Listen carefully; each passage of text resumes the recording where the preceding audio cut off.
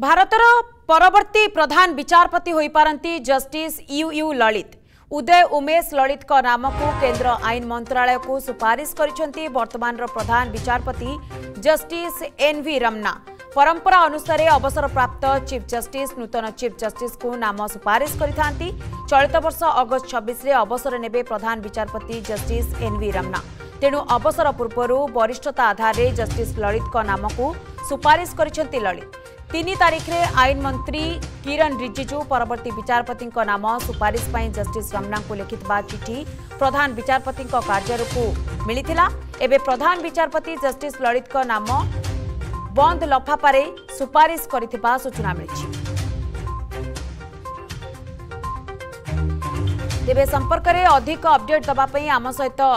ଯୋଡ଼ି ହୋଇଛନ୍ତି ଆମ ପ୍ରତିନିଧି ଗଗନ ବିଶ୍ୱାଳ ଗଗନ ଘଟଣା ସମ୍ବନ୍ଧରେ କ'ଣ ଅପଡେଟ୍ ଖବର ଆସୁଛି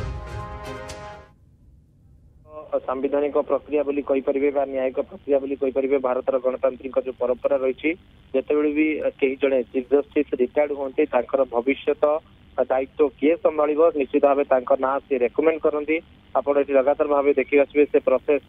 ସ୍ୱାଧୀନତା ପରଠୁ ଭାରତବର୍ଷରେ ଅବଲମ୍ବନ ହେଇ ଆସୁଛି କେବଳ ଥରେ ଦୁଇଥରକୁ ଛାଡ଼ିଦେଲେ ବାକି ସବୁ ସମୟରେ ସେଇ ପରମ୍ପରା ହିଁ ଅକ୍ଷୁଣ୍ଣ ରୁହେ ତେବେ ସେଇ ଆଧାରରେ ଯିଏ କିରଣ ରିଜୁ ରହିଛନ୍ତି ଆଇନ ମନ୍ତ୍ରୀ ସେ ପତ୍ର ଲେଖିଥିଲେ ଚିଫ୍ ଜଷ୍ଟିସଙ୍କୁ ଏବଂ ଏନ୍ ଭି ରମନ୍ନା ତାର ବର୍ତ୍ତମାନ ରେକମେଣ୍ଡେସନ ପାଇଁ ଗୋଟେ ପ୍ରକ୍ରିୟା ଆରମ୍ଭ କରିଛନ୍ତି ମୁଦା ଲଫା ପରେ ସେ ରେକମେଣ୍ଡେସନକୁ ସେ କେନ୍ଦ୍ର ସରକାରଙ୍କୁ ପଠେଇଛନ୍ତି ଏହି ପ୍ରକ୍ରିୟା ଦେଖିବେ ସବୁ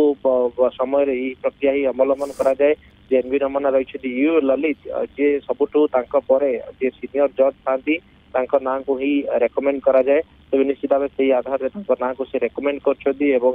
ଗୋଟେ ପ୍ରକାର ସୁନିଶ୍ଚିତ ହେଇ ଗଲା ବୋଲି କୁହାଯାଇପାରେ ଯେ ୟୁ ଲଳିତ ହିଁ ନେକ୍ସଟ ପ୍ରଧାନ ବିଚାରପତି ହେବେ ବା next CJI of India chief justice of India भाव अलंकृत हे कहीं देखिए अगस्ट छब्स जो डेड लाइन रही एन भी रमना रिटायरमेंट ने परवर्त पर्यायर अनेक अंक कथा होता है किए हम सिनियर जज जेहतु थे निश्चित भाव गोटे प्रकार सुनिश्चित था यूए ललित ना को ही से रेकमेंड करेंगे से ही केन्द्र सरकार आईन विभाग रही केन्द्र सरकार को तार उत्तर जा सारी या देखिए केन्द्र सरकार अनुरोध करेंगे मानव जो महामहिम राष्ट्रपति अच्छा ये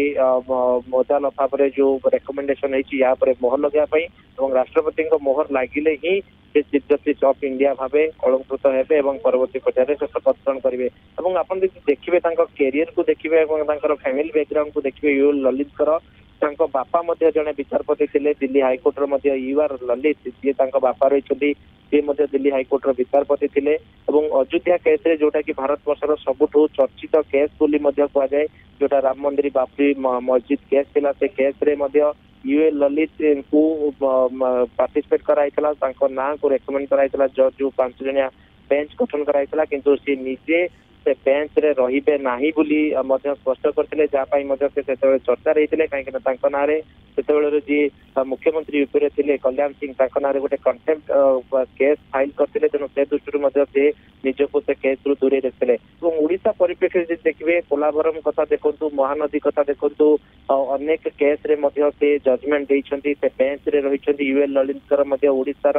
अनेक जो केस सुप्रीम कोर्ट रे विचार हेची ସେ କେସ୍ରେ ମଧ୍ୟ ସେ ସେ ଯୋଉ ଖଣ୍ଡପୀଠ ଗଠନ ହେଇଥାଏ ତିନି ଜଣିଆ କେତେବେଳେ ଦି ଜଣିଆ ସେ ଖଣ୍ଡ ଅନେକ କେସ୍ରେ ମଧ୍ୟ ସେ ନିଜର ରାୟ ଦେଇଛନ୍ତି ଲମ୍ବା ଏକ୍ସପିରିଏନ୍ସ ରହିଛି ଲମ୍ବା ଅଭିଜ୍ଞତା ତାଙ୍କର ରହିଛି କ୍ୟାରିୟର ତାଙ୍କର ପୁରା ଫ୍ୟାମିଲି ବ୍ୟାକଗ୍ରାଉଣ୍ଡ ମଧ୍ୟ ଆଇନ ବିଶାରଦ ବୋଲି କୁହାଯାଇପାରେ ତାଙ୍କ ଫ୍ୟାମିଲି ବ୍ୟାକଗ୍ରାଉଣ୍ଡ ନୋ ଡାଉଟ୍